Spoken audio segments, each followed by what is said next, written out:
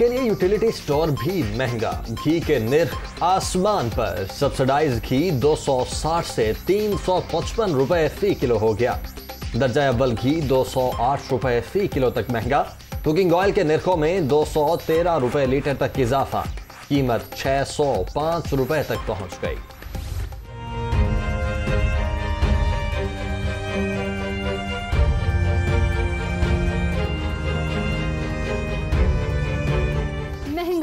Full ज़ोर, गरीब मजीद कमज़ोर। आटा, चीनी, घी, दालें पहुँच से बहुत दूर। अशियाए खुरनोश की खरीदारी जेब पर भारी। ओपन मार्केट में घी 530 रुपए का हो गया। हुकूमत महँगाई कम नहीं बढ़ाने के लिए इकदाम उठा रही है। शहरियों का पारा हाई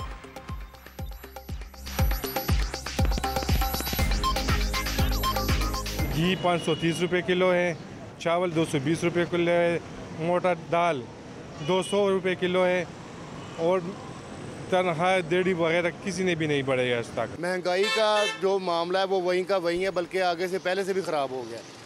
तो उम्मीद करते हैं कि अल्लाह पाक इनको तोफीक दे या महँगाई को कम करें। खुदा के लिए आवाम का सोचें आवाम का भला करें। ये महँगाई बिल्कुल दुश्मन है आवाम की आवाम परेशान है। ये मसाइल ही मसाइल बने हुए हैं।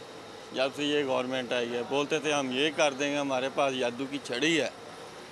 अब जादू की छड़ी कहाँ है? पेट्रोल की कीमत बढ़ाने से बाकी अशिया पर भी असर पड़ा है। तो आवाम जो है इसमें गुजारा करना बहुत मुश्किल हो गया है। एक आम आदमी वो अपने बच्चों को रोटी देने से कासर हो गए यहाँ तो अपने कोई तनख्वाह बच जान को उन्होंने वसायल आमदन बच जान तो फिर तो चलो महँगाई भी तकलीफ़ नहीं देती मगर उस तो अलावा जो तो, ये भी ना बदन तो चीज़ा भी वधिया जान तो फिर आवाम वास्ते काफ़ी मुश्किल बन दें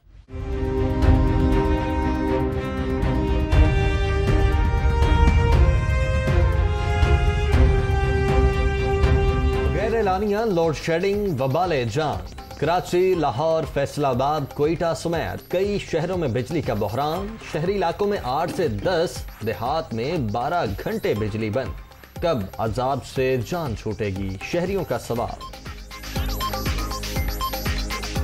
लोड शेडिंग का कोई दुरानिया नहीं है, कोई शेड्यूल नहीं है कि किस वक्त जानी है और किस वक्त आनी है। कारोबार बिजली के साथ है और जनरेटर वगैरह अफोर्ड नहीं कर सकते। ये जब से आए हैं ना तो इस मुल्क से बिजली गायब हो गई है।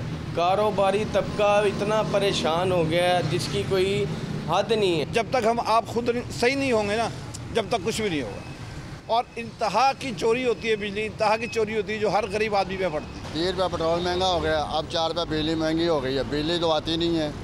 लोगों का गुजारा गुसर बसर कैसे हो बत्ती आ रही है आप खुद समझदार आदमी है नहीं आ रही। तो बिल इतने इतने लंबे आ रहे हैं। कमाल हो गई है। उन देर ना कोई चार गाहक आ गया ईद आ गई है तो पट्ठे नहीं कुतरे जाने। तो गाहक खिलौंदा कोई नहीं। मुल्क भर में बिजली का शॉर्टफॉल छः हज़ार चार सौ सैंतालीस मेगावाट हो गया।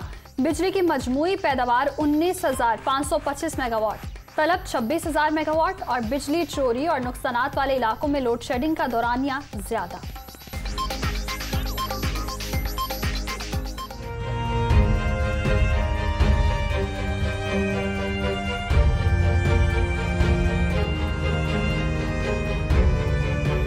फैसलों से कोई नाराज़ हो या राज़ी, ये उनका मसला है। आइन और कानून के मुताबिक फैसले करते हैं। इलेक्शन कमीशन बगैर किसी खौफ और दबाव के अपना काम जारी रखेगा।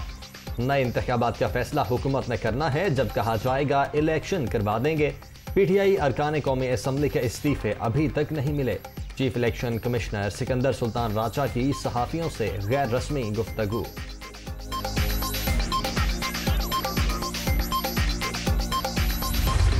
I, I, Babar Hassan Banana. I, Jamullah Khan, do solemnly swear that as member, Election Commission of Pakistan, Do solemnly swear that as member of the Election of Pakistan, I will discharge my duties and perform my functions I will discharge my duties and perform my functions honestly to the best of my ability, faithfully in accordance with the Constitution of Islamic, Islamic Republic of Pakistan and the law.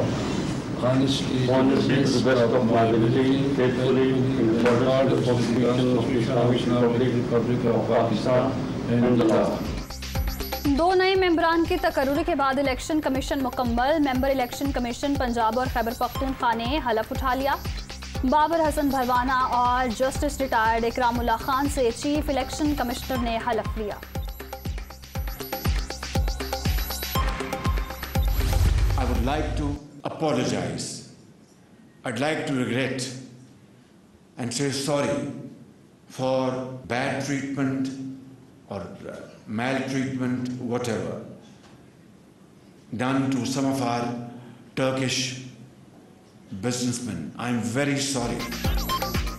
Pakistan में तुर्क companies के साथ बुरे रवैये पर माजरत पाक तुर्क तजारती हजम पाँच अरब डॉलर तक ले जाने का आज़म।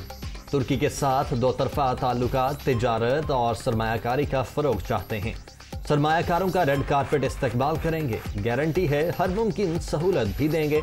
वज़ीर अजम का अनकरा में बिज़नेस फोरम से खिताब।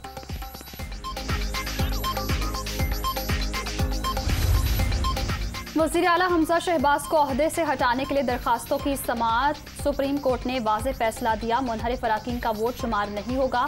अब बाहिर किसी के पास भी अददी अक्सरियत मौजूद नहीं, ये मामला दोबारा चीफ मिनिस्टर के इलेक्शन की तरफ़ ही जाएगा। तारीखी केस है, पूरा मुल्क अदालत की तरफ़ देख रहा है, बैरिस्टर अली ज़फ़र के दलाई मुकम्मल।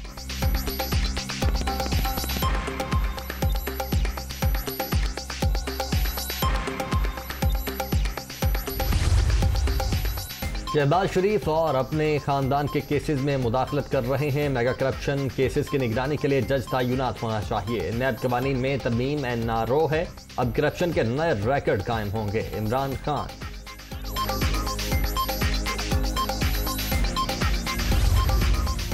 आज़ादी मार्च के दौरान गुंडागर्दी का मुजाहरा किया गया। एहतजाज हमारा आईनी हक है। तहरीक इंसाफ आज सुप्रीम कोर्ट में दरखास्त दायर करेगी।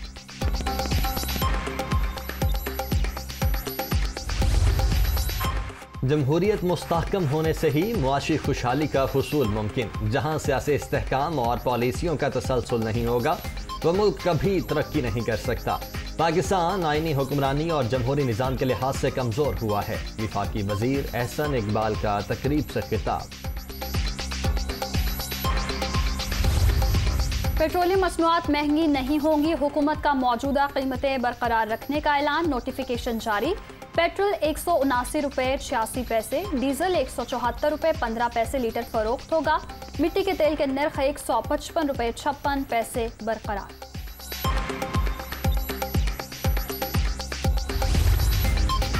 रूस से तेल खरीदना ना इंतहाई मुश्किल। सबक हुकूमत ने भी रबता किया था, पाबंदियों के बायस, मॉस्को ने कोई जवाब नहीं दिया।